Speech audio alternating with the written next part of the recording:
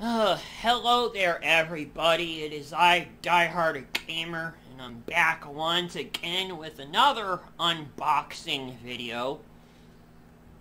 Uh, I got my second game box in the mail from a Kid Shoryuken today. Uh, it did take a little while, and I was getting a little bit worried, but thankfully it arrived without any trouble, so that is great. So, without further ado, and by the way, before I get started, if you folks haven't checked out Kid Shoryuken's YouTube channel, you should definitely go and check out his YouTube channel because he's definitely put out some amazing content, even though he hasn't really been putting out a lot of stuff lately because he's had to move recently, and I, I, I can understand how much of a big pain in the neck that can be, so... But if you folks haven't already checked out Kid Shoryuken's YouTube channel, go ahead and check out his YouTube channel. There's a lot of great uh, reviews as well as gaming recommendations for those of you who would like to get into Japanese import games. So, without further ado, let's get started here, folks. First up is Kamen Rider Faiz for the PS2. It is also based on the Kamen Rider show of the same name. I did see a video of all of the finishing attacks from this game on a YouTube channel a, a while back. It was more than quite a while back, so definitely glad to have this game in my collection right now. So that is awesome. Definitely can't wait to play this game on my Japanese PS2 Slim. Um,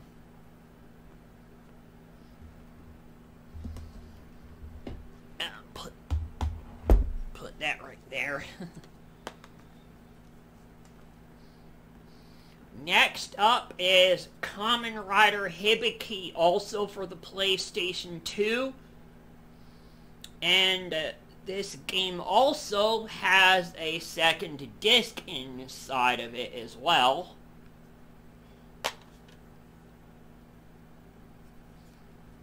As, ah, I almost pinched myself there. As you folks can see here, and it's for a Taiko no game. So, I don't know which Taiko no game it is for, because I'm not very big on that franchise, unfortunately, but there it is. For, so, if any of you, uh, any of you folks out there are fans of the Taiko no Tatsujin franchise, or Taiko Drum Master as it's known here in America, pick this game up so you can uh, play, try out the second disc.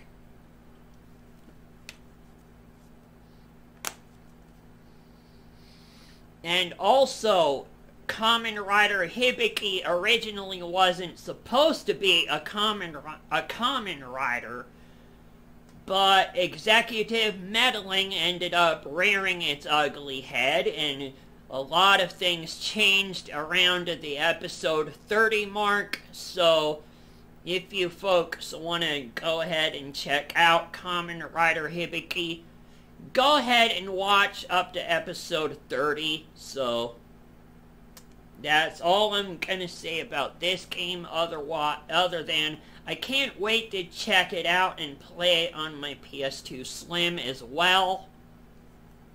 Um,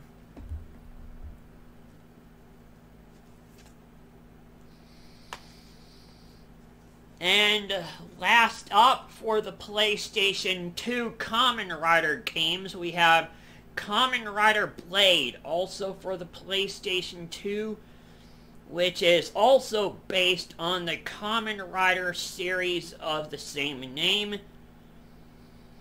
Kamen Rider Blade was Spade Ace's favorite Kamen Rider. And for those of you out there who don't know, uh, Spade Ace was a part of RVT Entertainment on Riffs Live. And unfortunately, he passed away recently, so... And I know that he would have really loved this game. He would have really loved to have a copy of this game, so... Uh, I will definitely be playing this in Spade Ace's honor at some point.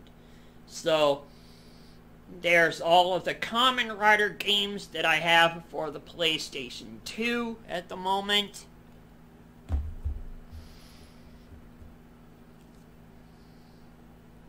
Last, but certainly not least, is this game right here. Uh, another Century episode, The Final, which is another mech game for the PlayStation 2. I did try out Gungriffon 2 for the Sega Saturn, uh, but unfortunately all of that game's text is in Japanese, but I did have fun trying that game out. I did have fun trying to stumble my way with that game, so... And, uh, I know I'll definitely have fun with this game. And it might be a little bit more challenging because this game is also made by the folks over at From Software, who are responsible for the Souls series as well as Bloodborne. So, as well as some other games that didn't get a release outside of Japan as well. So I definitely can't wait to check this game out. So that's all the games that I got from my PS2. Up next are a couple of PSP games. First up, we have Macross Ace Frontier for the PSP. I do know that there are quite a bit of Macross games out there that didn't get a release outside of Japan. Uh, this franchise is also known as Robotech here in the US. So, uh, I definitely can't wait to start playing this game. And I did know that, uh, Kid... I do know, rather, that Kid Shoryuken reviewed a couple of Macross games on his channel for the Import Game of the Day segment, so I would also like to have those Macross games if that's possible in the future, so definitely can't wait to start playing this and check this game out for myself. And next up is uh next up is a Dragon Ball Z game for the PlayStation Portable as well. I don't know what the Japanese text says. Hopefully Kid Shoryuken can help me out with that when he sees this video. I do know that it's a Dragon Ball Z game. I don't know if it's one of the Budokai games that ended up coming out for the PSP here in America. I'll definitely have to do some research into that, but I'm glad to have this game in my uh, Japanese collection for the PSP games, so that is great. Definitely can't wait to try this game out either. And last but not least, I have a couple of PlayStation Vita games. First up, we have the Japanese version of Dragon Quest Heroes 2 for the PlayStation Vita. I don't know if this got a North American release here for the Vita in North America. I'm not sure, so.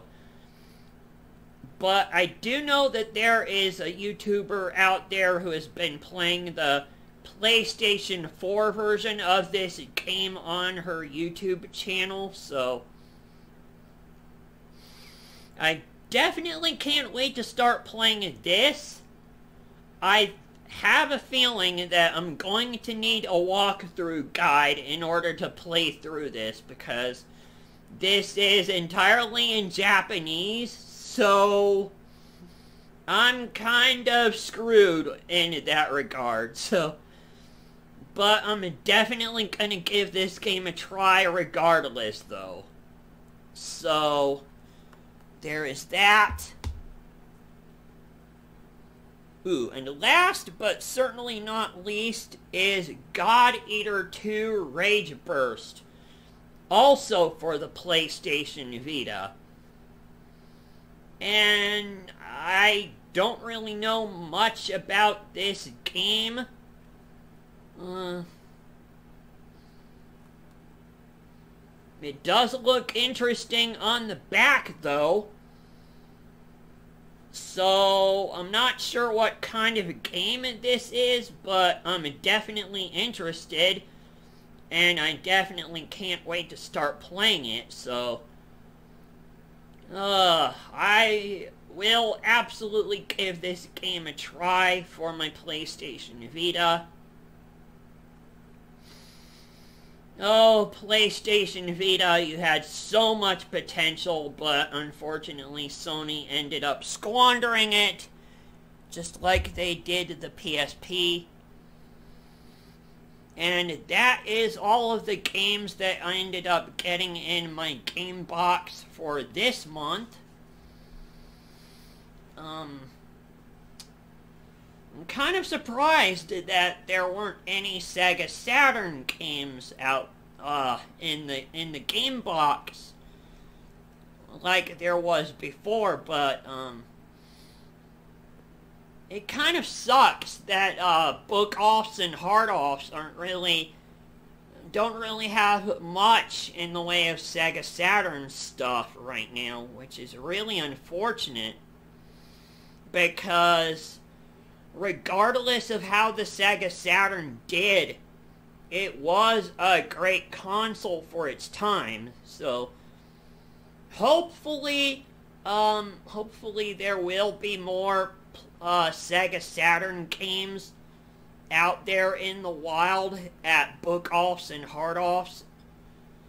And as much as I know that uh, Kid Shoryuken doesn't like going to Super Potato because of the fact that, well, Super Potato's prices over there in Akihabara are jacked up. And they're having a hard time getting business right now. It's like, that might be the only option, unfortunately, so... Also, um, if you see any uh, Ultraman games out there in the wild, kids, Kid Shoryuken uh, please pick those up. I would greatly appreciate that. Um, what else? And also, oh my goodness. I know this is I know this is asking for a miracle here, but if you do end up finding a copy of Akumajo Densetsu for the Famicom, I would really like a copy of that game. Yes, I know it's included in the Castlevania Anniversary Collection or the Akumajo Dracula Anniversary Collection, but I'd, I'd really like to have, to have a physical copy of that game for preservation purposes. And, uh, what else is there? Oh, yeah.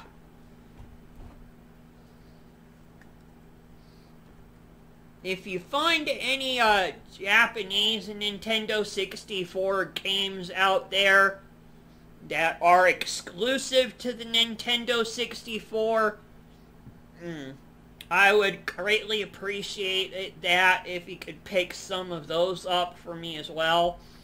Yes, I know I'm holding up Super Mario 64, but I don't really feel like going over there and picking out um, one of my Japanese Nintendo 64 carts.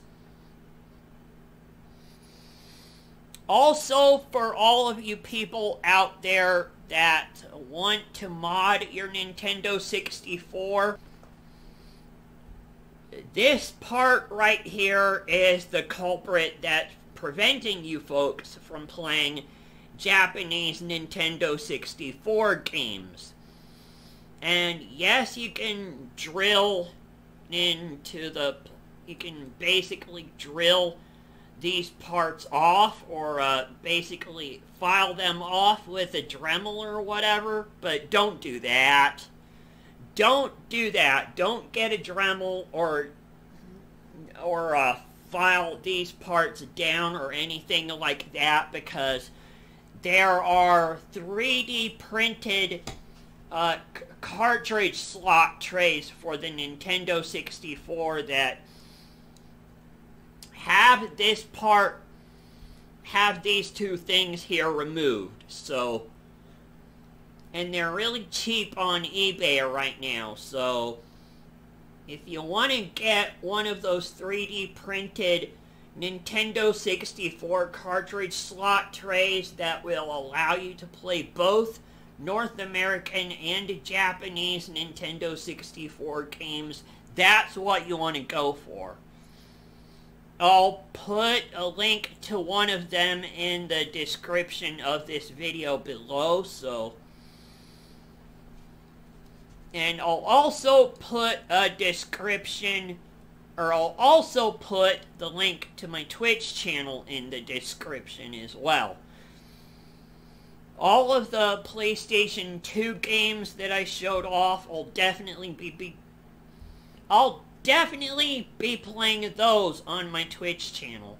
My goodness, the heat here is starting to get to me, folks. So, please uh, follow me on my Twitch channel. I'll definitely be putting the link to that in my in the description of this video after I get it uploaded. And also, now that I remember, there is a Dragon Ball Z game on the Sega Saturn that I would also like a Kid Shoryuken to keep an eye out for as well. And I know that it's also going to be asking for a miracle, but um, with uh, some of the shooters that you that uh, Kid Shoryuken has covered on his channel for Import Game of the Day, I would really like some of those as well as some of the platformers out there for the Saturn. So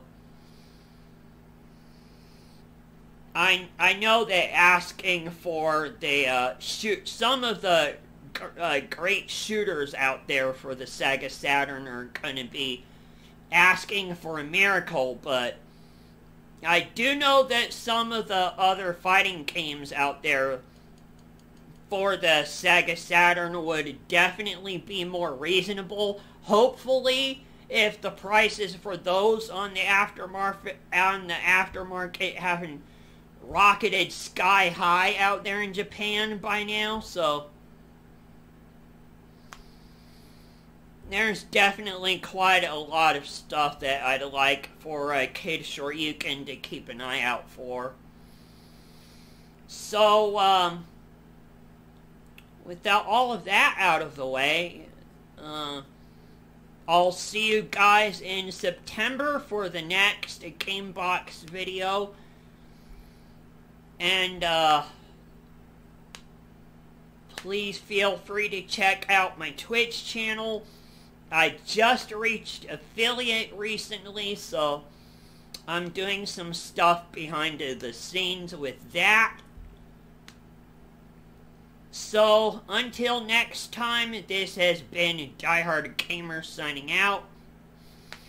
And for everybody out there in the Pacific Northwest who is watching this video, stay cool and drink lots of water.